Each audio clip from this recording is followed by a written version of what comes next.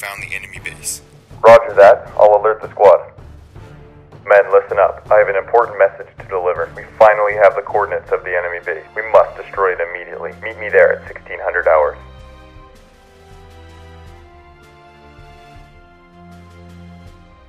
Alright, men, we must act quickly. Let's destroy it and get out of here. But, sir, my radar does not detect any enemy technology in the area.